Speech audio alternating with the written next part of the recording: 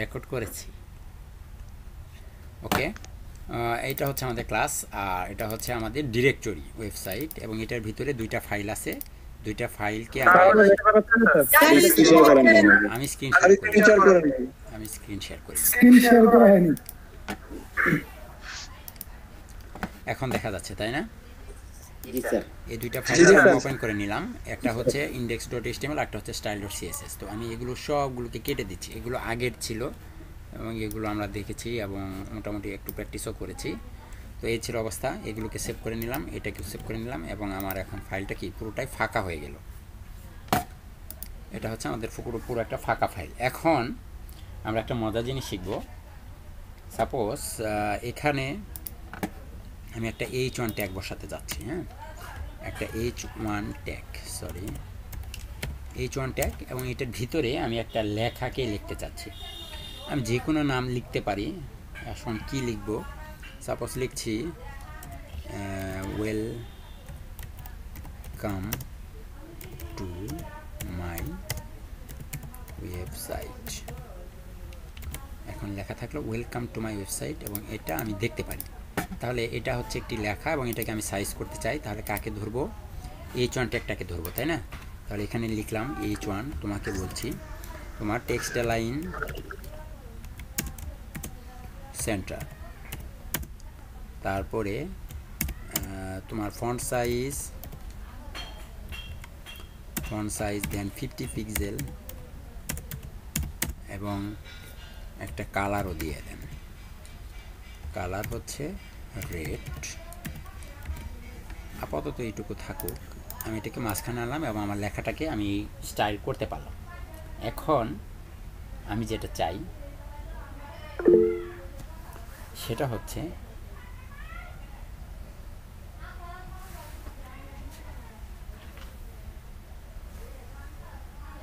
এক মিনিট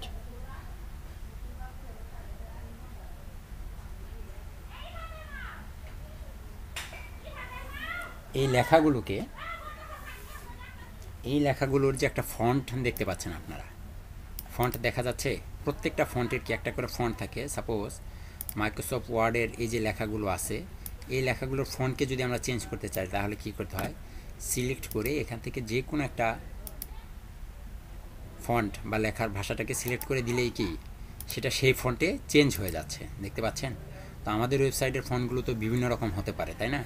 তো এই লেখাগুলোকে আমরা কীভাবে চেঞ্জ করব? তো এটা চেঞ্জ করার জন্য আমরা এই লেখা এবং এর সাথে আরও একটা পি ট্যাগকেও আনেন পি ট্যাগের ভিতরে লরে মিপসের লেখা, গুণবাচক শব্দ আমরা আনি। এটাকে এখানে বসিয়ে দিচ্ছি কন্ট্রোল স্পেস করে সেভও করে নিচ্ছি।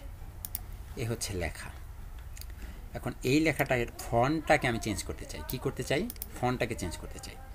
তাহলে এটার জন্য একটা প্রপার্টি আছে। এটার নাম হচ্ছে ফন্ট ফ্যামিলি প্রপার্টির নাম কি?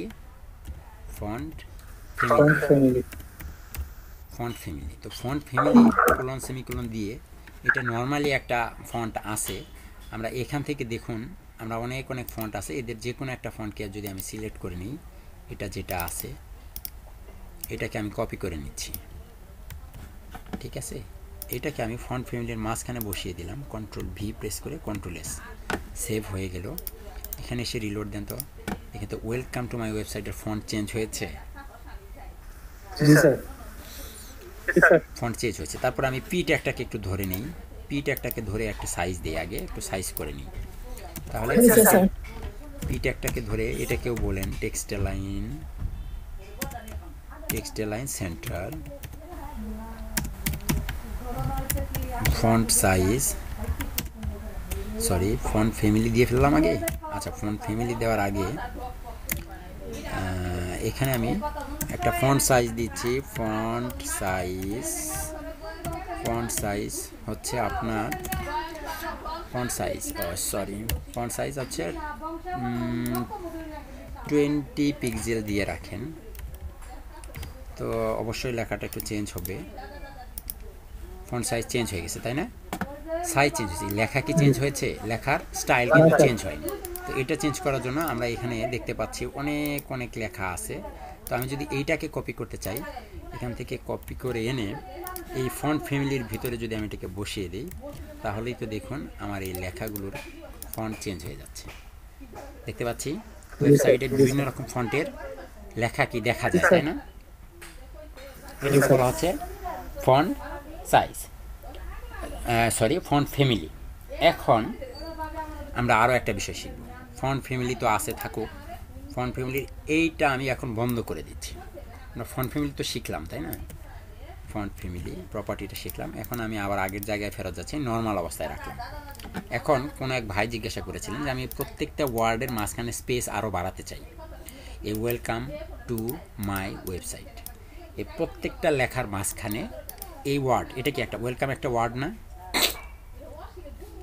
টু আলাদা একটা ওয়ার্ড তারপরে মাই এটা হচ্ছে আলাদা একটা ওয়ার্ড এবং ওয়েবসাইট এটা আলাদা একটা ওয়ার্ড তো আমি প্রত্যেকটা ওয়ার্ডের মাঝখানে ডিস্টেন্স দূরত্বটাকে আরেকটু বৃদ্ধি করতে চাচ্ছি। এটা করার জন্য আমাদেরকে সিএসএস একটা প্রপার্টি আছে কাকে করতে চাই এই এইচ ওয়ান ট্যাগের ভিতরটা করতে চাই তাহলে এইচ ওয়ান ট্যাগটাকে ধরাই আছে এখানে আপনি বলে দেন এই প্রপার্টিটার নাম হচ্ছে ওয়ার্ড স্পেসিং এই প্রপার্টিটার নাম কি?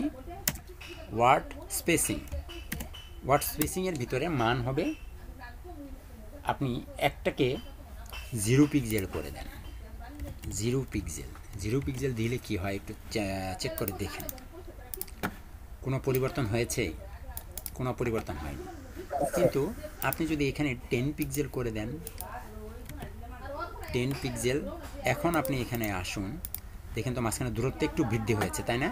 তো এখন আমি পছন্দ মতো এটার একটা স্পেসিং তৈরি করতে পারি কীভাবে? যে আমি আসলে হিসাব করব কীভাবে? আমি চাচ্ছি যে এই স্পেসিংগুলো আরও একটু বাড়বে, এতটুকু লেখার ভিতরে আসবে। তাহলে এটা চেক করার কি উপায় আছে? বারবার চেক করতে হবে কীভাবে? এখানে আপনি আসতে হবে, এখানে দশের, একবার দিলেন দশ, আবার দিলেন পনেরো পনেরো দিলে এক মিনিট। আমি একটু ভাষণটা থামাইতে আসতেছি। ভাই বাবিরা বাড়িতে এসেছে তো, গল্প জমা দিয়েছে একদম। একটু তো আচ্ছা যাই হোক, এই ছিল অবস্থা। তো এখন আমি পনেরো করে দিলাম আর একটু বেড়ে গেল। তো আবার আমি চাচ্ছি যে না আর একটু বেশি হবে। তাহলে কি করতে হবে? আবার বিষ দিলাম। বিষ দিয়ে আর একটু বাড়ালাম। তো বারবার এইভাবে চেক করা একটু কষ্টকর হয়ে যায় না? তাহলে আমাদের কি এরকম কোনো সিস্টেম আছে যেটার মাধ্যমে আসলে আমি আগে থেকে একটু দেখে নিতে পারব পরে মানটাকে গিয়ে আমি এটা করার জন্য আপনি করবেন এই যে লেখাটার মাছ পরিবর্তন করতে চাচ্ছেন ঠিক এই লেখাটার মাঝখানে এনে কার্সরটাকে এনে রাইট বাটন ক্লিক করবেন। ক্লিক করলে যে অপশনটা আসবে এখান থেকে দেখুন লেখা আছে ইন্সপেক্ট এলিমেন্ট এটা গুগল ক্রোমেও আছে এটা মজিলা ফায়ারফক্সেও আছে। তো ইন্সপেক্ট শর্টকাট মনে হয় কন্ট্রোল শিফট আই হ্যাঁ এখানে দেখুন আছে। তো যাই হোক আমার এই লেখাটাকে ধরা হয়েছে না দেখেন তো আমি মাউসটা নিচ্ছি। এটাকে সিলেক্ট করলে পি ট্যাগের লেখাটাকে মার্ক করে নিচ্ছে। আর এখানে দেখুন পি ট্যাগের যে স্টাইলগুলো দেওয়া আছে এগুলো দেখাচ্ছে। পি ট্যাগের কি? টেক্সট লাইন এবং ফন্ট সাইজ দেওয়া আছে। দেখুন তো আমি যখন পি ট্যাগটাকে সিলেক্ট করছি তখন আমি কি? পি ট্যাগেরগুলো দেখতে পাচ্ছি। আর যখনই আমি এইচ ওয়ানে সিলেক্ট করে নিচ্ছি তখন আমি এইচ ওয়ানেরগুলো দেখতে পাচ্ছি। এইচ ওয়ানের যে এইগুলো আছে এবং এখানে দেখুন ওয়ার্ড স্পেসিং দেওয়া আছে। তাহলে এই ওয়ার্ড স্পেসিংকে ডাবল ক্লিক করে মার্ক হয়ে যাওয়ার পর আপনার কম্পিউটারের কিবোর্ডে অ্যারো চিহ্ন আছে না উপরে নিচে ডানে বামে? কিবোর্ডের ডান পাশে অ্যারো চিহ্ন থাকে। এটার উপরেরটাকে আপনি প্লাস করবেন। দেখুন তো আমি প্লাস করছি। এই দিকে খেয়াল করুন আমার এখানে সাতাশ আঠাশ উনত্রিশ ত্রিশ এইভাবে চেঞ্জ হচ্ছে এবং এখানে লেখাটা দেখুন একটু বৃদ্ধি হয়ে যাচ্ছে। তাহলে আমি যদি এতটুকু দূরত্ব চাই তাহলে আমার কত হলো? ফোর্টি ফাইভ তো আমি একটা হিসাব করে নিলাম ফোরটি ফাইভ হলো। তো এখানে যদি আপনি কেটে দেন তাহলে কিন্তু ফোরটি ফাইভ শেষ হয়ে গেল। এখানে কিন্তু কোনো ক্রমে ফোরটি ফাইভ আসবে না। যতক্ষণ না পর্যন্ত আপনি এখানে ফোরটি ফাইভ লিখে দিবেন। ফোরটি ফাইভ লিখে দেওয়ার পরে যখন এটা করবেন এখানে এখন এটা ফিক্সড ফোর্টি ফাইভ দেখতে পাচ্ছেন?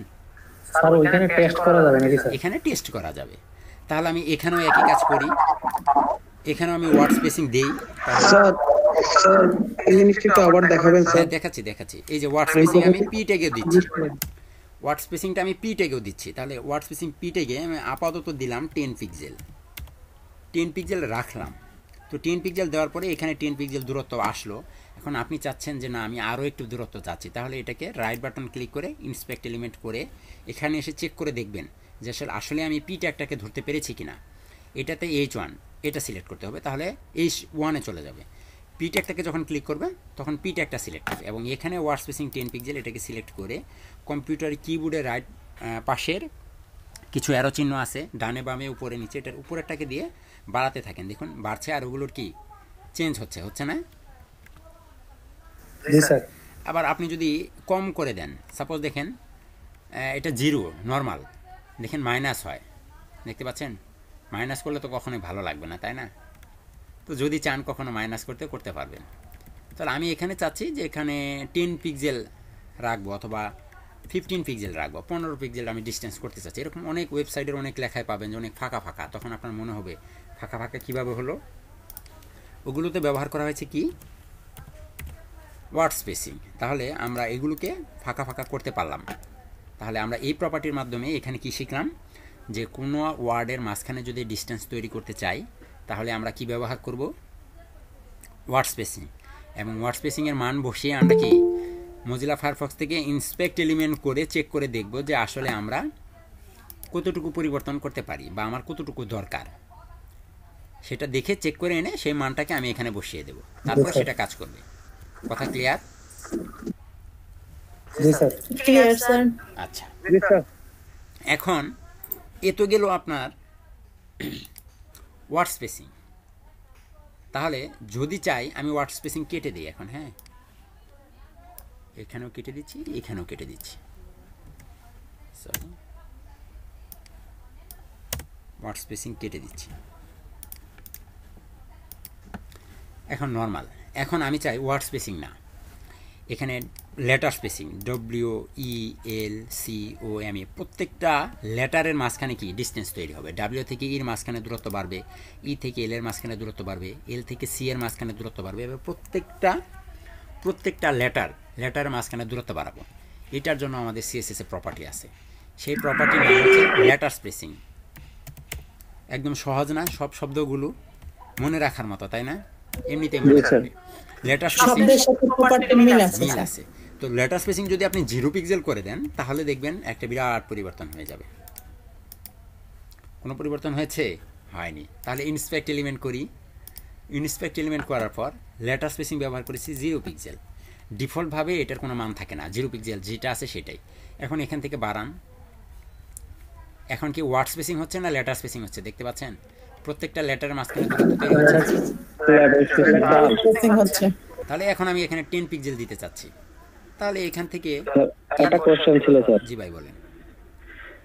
এই যে আপনি যে ইয়েটা টেন পিক্সেলটা আস্তে আস্তে বাড়াচ্ছেন আস্তে আস্তে কমাচ্ছেন এটা কীভাবে করেন? ওটাই তো বললাম যে আমার কিবোর্ডের ল্যাপটপের কিবোর্ডের ডান পাশে নিচের অংশে অ্যারো চিহ্ন থাকে।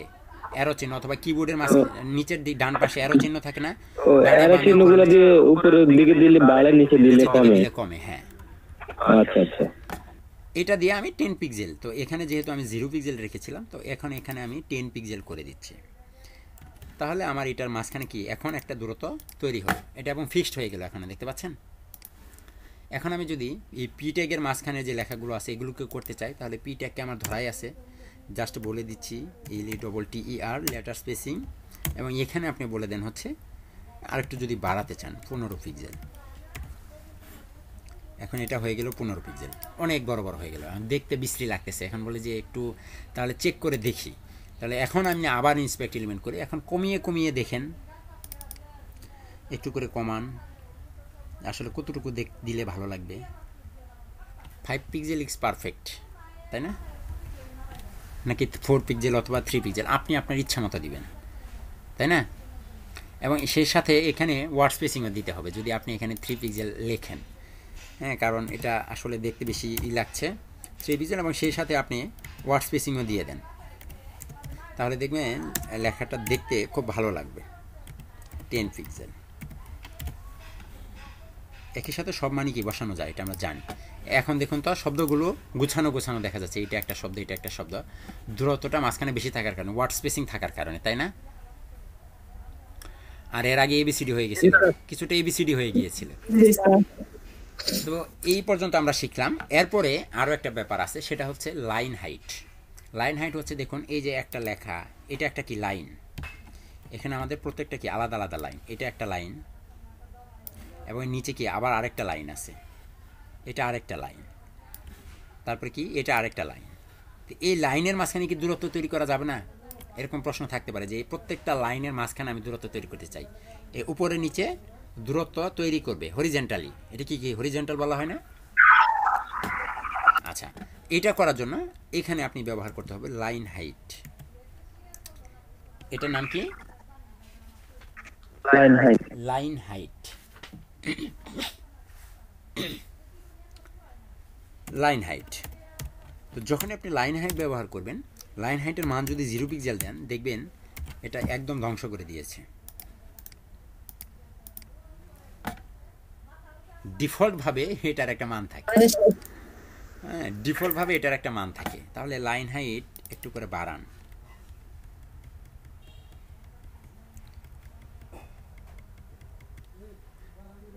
বাড়তেছে দেখতে পাচ্ছেন? আমি চল্লিশ পিক্সেল রাখতে চাচ্ছি।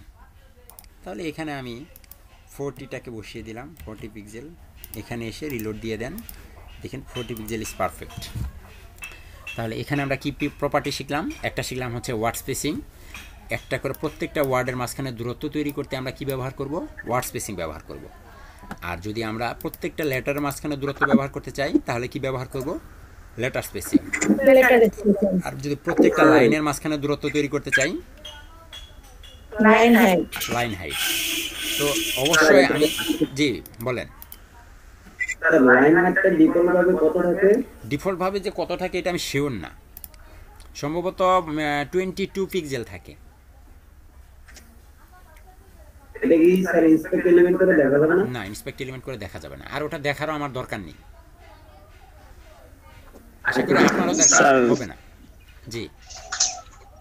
লাইন হাইটটা টেক্সটের উপর নির্ভর করে না স্যার হ্যাঁ অবশ্যই। অবশ্যই ঠিক আছে। আর কোনো প্রশ্ন? আশা করি নেই। আচ্ছা এখন আমার প্রশ্ন। আগামী ক্লাসে আমি যদি আপনাদের এই লেখার উপরে হুম এই যে আজকে যা দেখাচ্ছি এবং এই এসটিএমএল এর উপরে যত কোডিং আছে সব কোডিংয়ের উপরে পরীক্ষা নিতে চাই আপনারা কে কে পরীক্ষায় অংশগ্রহণ করতে পারবেন না হাত তুলেন? আমি পারব। কে পারবেন না তারা কথা বলেন। তাহলে আমি বুঝে যাব যে সবাই পারবেন। কথা বুঝেন নাই? পারবেন না কে কে? হ্যাঁ অংশগ্রহণ তো করতে পারব কিন্তু করতে পারব না ওটা আপনি কেন পারবেন না?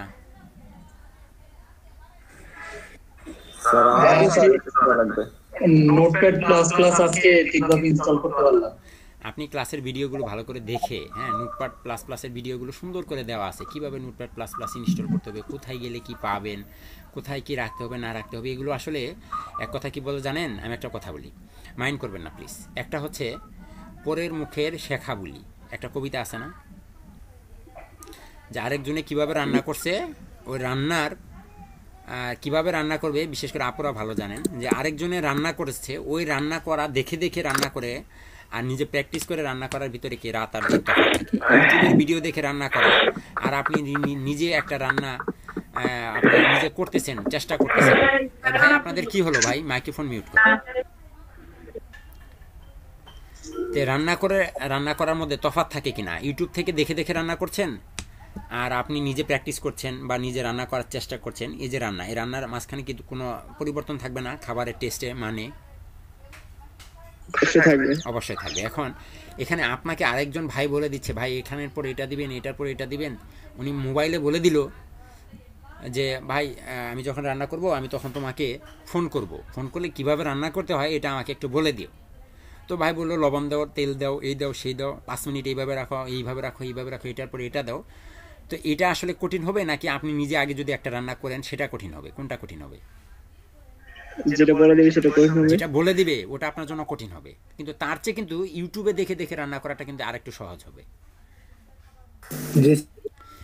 দেখে দেখে রান্না করা আর আরেকজনে বলে দিচ্ছে ফোনে তারপর রান্না করছেন। দুইটার মাঝখানে কিন্তু তফাৎ আছে। যেটা বলে দিচ্ছে মুখে মুখে আপনাকে একজন ফোনে ওইটার ইউটিউবে দেখাটা কিন্তু খুব সহজ হবে। তাই না? আর একবার ইউটিউব দেখে যদি রান্না করেন পরবর্তীতে কিন্তু আপনাকে আর ওই বারবার ইউটিউবটা দেখতে হবে না। দেখতে হবে। কারণ তখন আপনার একবার তো করেছেন, তারপরের জন্য আপনার একটু সহজ হয়ে যাবে। তারপরে না হলে প্রয়োজন আবার একটু দেখে নিলেন। আর তারপর যখন আপনার একবার রান্না করা শিখে ফেলবেন, তারপর কিন্তু আপনাকে রান্না করতে কখনোই ইউটিউব এবং কোনো ভাইয়ের বা কোনো আপুর সহায়তা নিতে হবে না। নিতে হবে। এই জন্য চেষ্টা করবেন যে প্রথমে নিজে নিজে শেখার জন্য।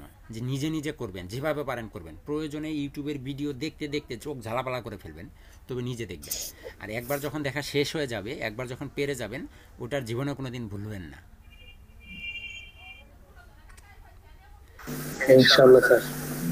ওটা আপনার জন্য বেশি সুবিধাজনক হবে। তো এই জন্য আমি বলি আমি ইউটিউবে ভিডিওগুলো কেন দেই? আমি ইউটিউবে আপনার ভিডিও আপলোড করে আপনি আমার ভিডিও দেখবেন দেখার পরে আপনার ভিডিও দেখে আমি আমি এটা ইউটিউব থেকে টাকা ইনকাম করব ইউটিউবে টাকা পাবো, এই আশায় কি আপনাদের ভিডিও দিচ্ছি? কয়টা ভিডিও আপলোড করা হয় এবং কয়জন মানুষ দেখে? এটা কিন্তু উদ্দেশ্য না। কিন্তু আমি যদি এই উদ্দেশ্য থেকে যদি বলি যে না, আমি, আমার এটার দরকার নেই, আমি ইউটিউবে ভিডিও দেওয়া বন্ধ করে দিই, তাহলে কিন্তু আপনাদের এক ঘণ্টা যা দেখাবো, এটা আপনাদের প্র্যাকটিস করতেই সারাদিন পার হয়ে যাবে, আর নতুন কিছু শিখতে পারবেন না। এবং আগামী, কালকেই দেখবা, দেখা যাবে যে অর্ধেক স্টুডেন্ট ঝরে গেছে। স্যার আমি আপনাকে মেসেজ দিছিলাম কিন্তু আপনি হয়তো দেখেন নাই স্যার আমার ওই যে রেজিস্ট্রেশনটা হয়েছিল স্যার আমি গত আজকে নিব। ক্লাসেই নিব। আমি ব্যক্তিগত কারণে খুবই বিজি ছিলাম ব্যস্ত ছিলাম। বিভিন্ন সমস্যায় থাকি তো সবসময় আতঙ্কগ্রস্ত থাকি আমি। কখন কি হয়ে যায় বলা যায়। না।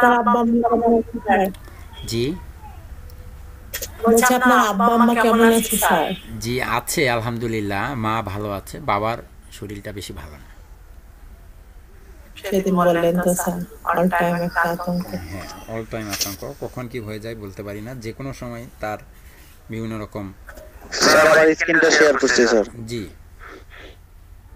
স্যার এই যে আমি উপরে যে বাংলাদেশের জাতীয় সংগীত যে লেখাটা লিখছি এটা কিন্তু অল্প একটু লেখা কিন্তু এটা কি হলো? আমার এই যে দুই সাইড যে সাইডটা সাইডটা তো অনেক দূর কালার চলে আসে। এটা এই হলো একটা সমস্যা। দ্বিতীয় সমস্যা হচ্ছে আমি এখানে বাংলাদেশের জাতীয় সংগীত একটা হেডিং লিখছি এখানে বাংলাদেশের রত্ন সংগীত একটা হেডিং লিখছি। এখন কি হলো? তোমরা মাঝে চলে গেছে আমি চাইতেছি যে জাতীয় সঙ্গীতটা সেন্টারে থাকুক আর বাংলাদেশের যে রণ সঙ্গীতটা এক সাইডে থাকুক। কিন্তু ওটাতে নিতে পারতেছি না। যাবে। কোনোটা করে চলে আসে আমি কি এখন পর্যন্ত এটা দেখাইছি আপনাকে? আপনাদের কাউকে দেখাইছি যে এটা কীভাবে করব?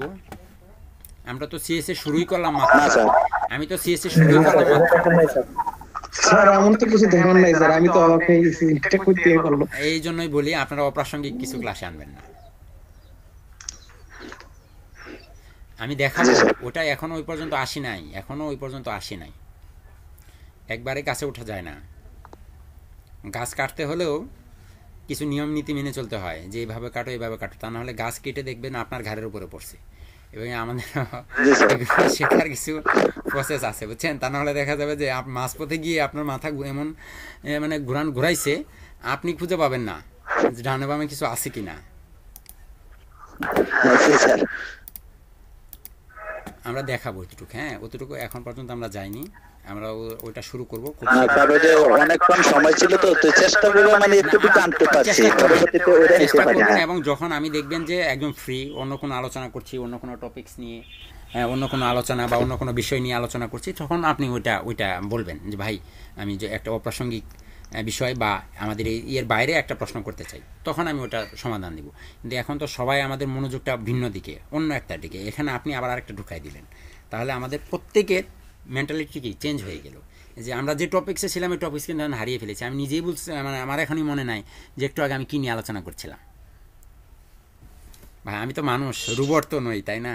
সকাল থেকে নয়টা থেকে আপনার একটা পর্যন্ত একটা ক্লাস তারপরে একটা থেকে সরি দুইটা থেকে ছয়টা পর্যন্ত আপনাদের ক্লাস এরপরেও তো আমার ব্যক্তিগত কাজ আছে।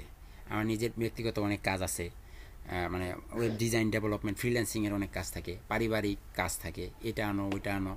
তার মধ্যে আল্লাহ রহমতে বাড়িতে একটু মানে ছোট্ট একটা কুড়ে ঘর ওঠানোর আয়োজন করেছি। ওখানে মিস্ত্রি আসতেছে, ইট আসতেছে, বালি আসতেছে, রড আসতেছে। হ্যাঁ এইটা বলে, ওইটা বলে, এটা কীভাবে করব এটা কীভাবে করব, ডাইনে দিব না, বামে দিব, দরজা কোথায় দিব, জানালা কোথায় দিব মানে পুরা একটা পেইন মাথার উপরে। টাকা পয়সার চিন্তা আছে বাবা মার ঔষধ, চিকিৎসা কখন কি হয় না হয় বিভিন্ন রকম টেনশনে সবসময় থাকি। তো এই জন্য বলি যে আমি আতঙ্কগ্রস্ত থাকি আর আগের চেয়ে স্মৃতিশক্তি অনেক কমে গেছে। মনে থাকে না। মানে কোনো কিছু মানে স্থিতিশীল না অস্থিতিশীল অবস্থায় আছি। এই জন্য আপনাদেরকেও বলব আমাকে একটু হেল্প করবেন যে যাতে আমি মানে বিগড়ে না যাই। ঠিক আছে? তাতে করে আপনাদের জন্য ভালো হবে। ইনশাআল্লাহ স্যার টেনশন কম করেন স্যার। এবার ভাই টেনশন কি কেউ ইচ্ছা করে করে নাকি? অটোমেটিক্যালি চলে আসে। যতই বলা হয় টেনশন করে না ততই আরও বাড়ে। তার মধ্যে বড় সন্তান তো আমি এই জন্য আর বেশি ঝামেলা। ছোট থাকতাম সব টেনশন বড় ভাইয়ের ঘাড়ে দিয়ে আমি চুপ করে বসে থাকতাম। আপনি আমার সব কিছু আমার।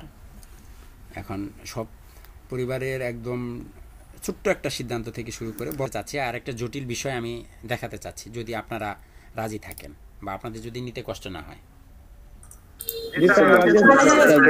বেশি কঠিন বেশি কঠিন না একদম সিম্পল এখানে আমি একটা ট্যাগ সবাই মিউট হয়ে যান। আমি শুধুমাত্র এইচ ওয়ান ট্যাগটাকে রাখলাম হ্যাঁ? এটাকে এইচ ওয়ান ট্যাগটাকে রাখলাম এবং এটাকে রিলোড দিয়ে নিলাম। শুধু আমার এটা থাকল। এখন এটার ওয়ার্ড স্পেসিং লেটার স্পেসিং এগুলো আমি বাদ রাখলাম আপাতত। এখন দেখুন এখানে লেখা আছে কি ওয়েলকাম টু মাই ওয়েবসাইট কি কি আছে? ওয়েলকাম টু মাই ওয়েবসাইট এখানে কয়টি ওয়ার্ড একটি দুইটি তিনটি চারটি ওয়ার্ড তাই না? প্রত্যেকটা ওয়ার্ডের কালার কি?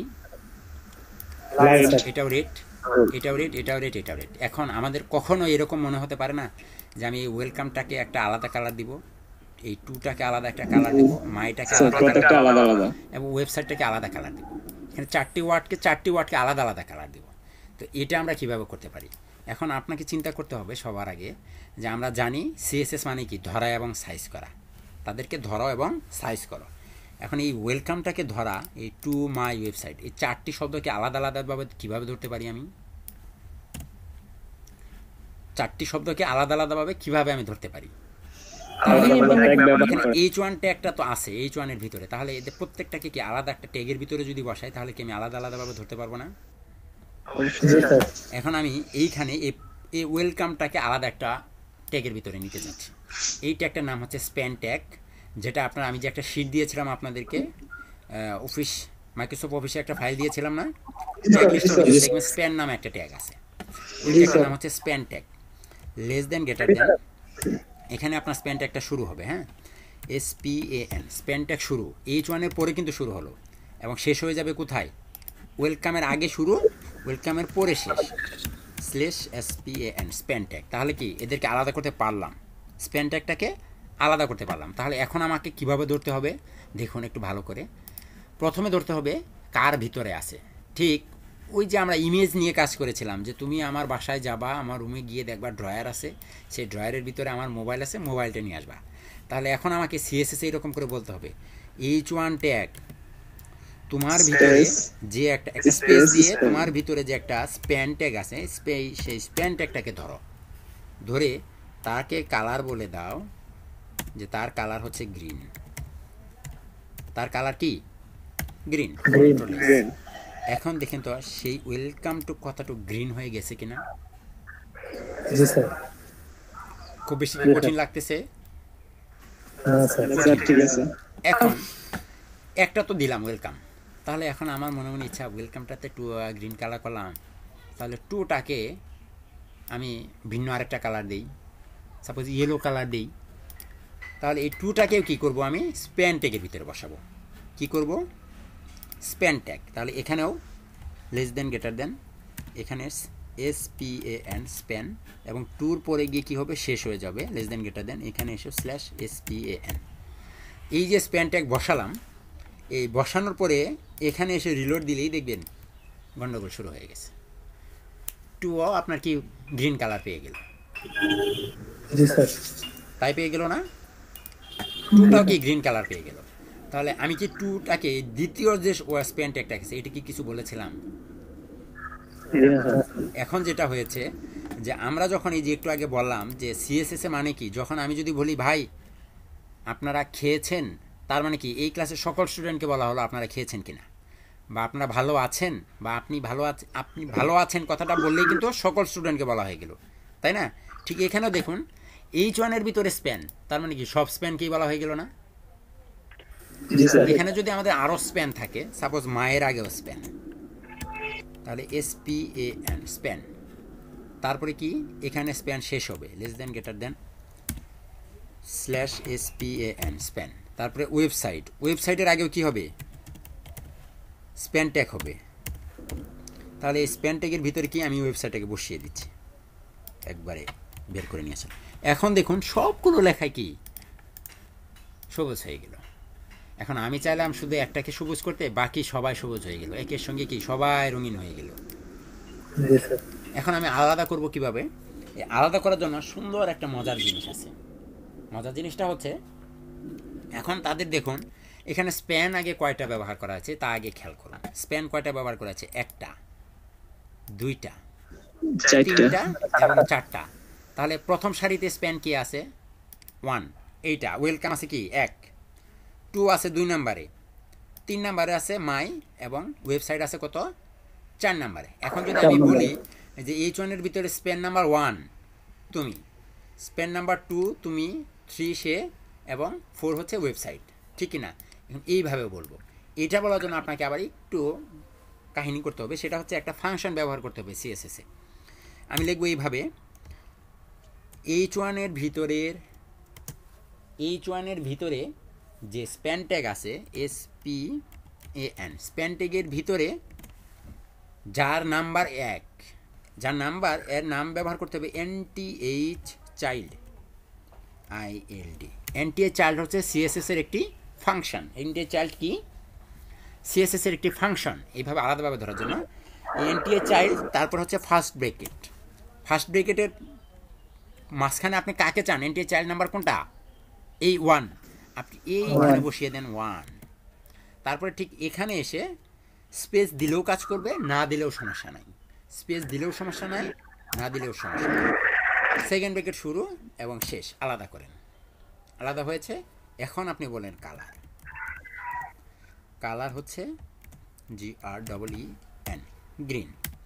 এখন দেখবেন শুধুমাত্র ওয়েলকাম লেখাটাই গ্রিন কালার পাবে।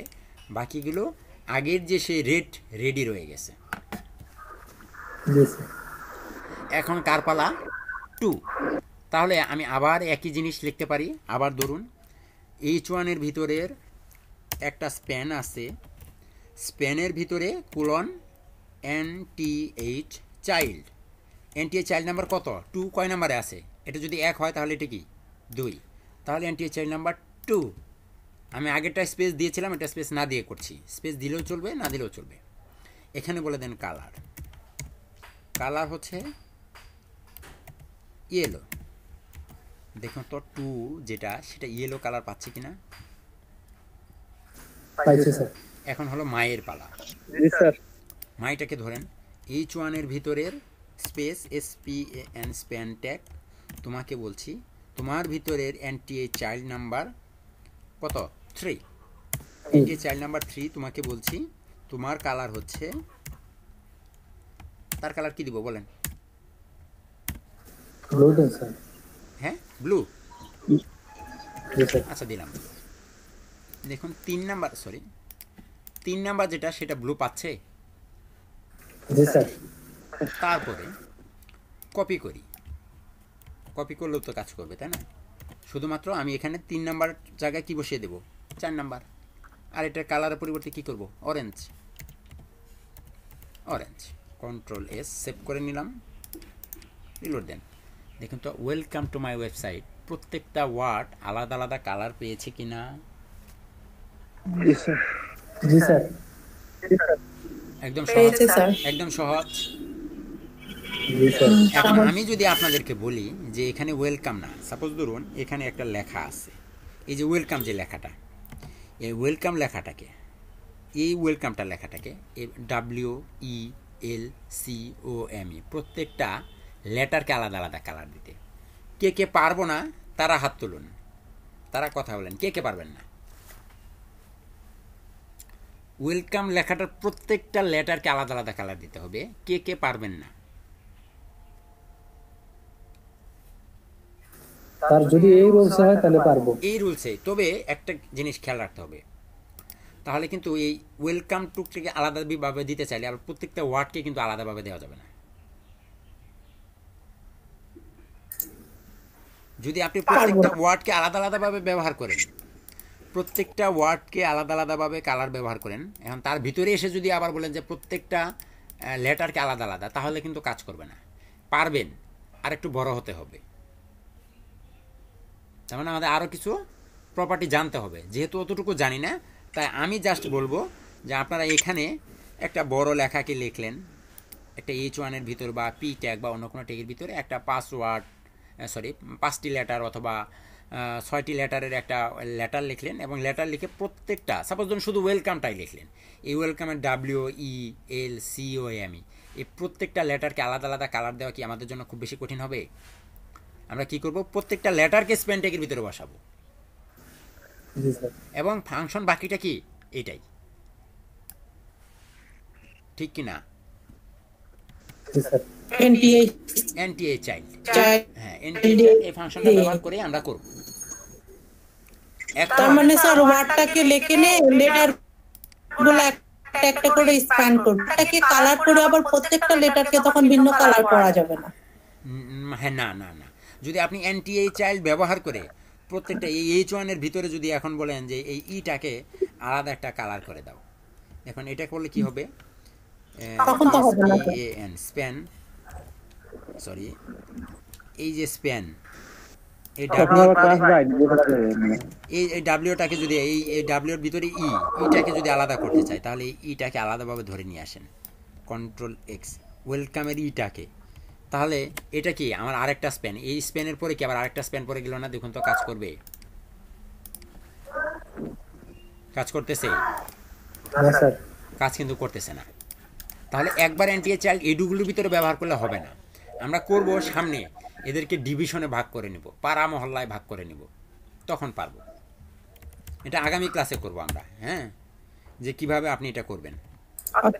কিন্তু এখন আপনাদেরকে এতটুকু তো আমরা করতে পারব তাই না? একটা লেটার বসালাম প্রত্যেকটা লেটারকে আলাদা আলাদাভাবে দিলাম। এতটুকু তো কোনো সমস্যা থাকবে না। তাহলে এখন আমরা পরবর্তী বিরতির পরবর্তী অংশে এসে কি কি শিখলাম? প্রত্যেকটা লেটারকে আলাদা আলাদাভাবে ধরে ডিজাইন করা লেটার স্পেসিং ওয়ার্ড স্পেসিং আর কি? Line height line height line spacing line spacing না লাইন হাইট লাইন হাইট তাহলে আমি এখন আর বেশি কিছু দেখাবো না। কারণ আজকে আমরা অনেক কিছু সিএসএস এর প্রথম দিনেই অনেক কিছু শিখেছি। এগুলো প্রত্যেকটা যদি আমরা এখন বলি এখন আপনারা করবেন এবং বেশিক্ষণও করতে পারবেন না বিশ পঁচিশ মিনিটের হয়তো প্র্যাকটিস করতে পারবেন তারপর আজান দিয়ে দিবে। তাই না? তো আমি চাই আপনারা এই বিশ পঁচিশ মিনিট আপাতত এনটিএ চাইল্ডটা নিয়ে একটু গবেষণা করেন। প্রবলেম হলে একটাতেই হবে, বাকিগুলোতে আশা করি হবে না।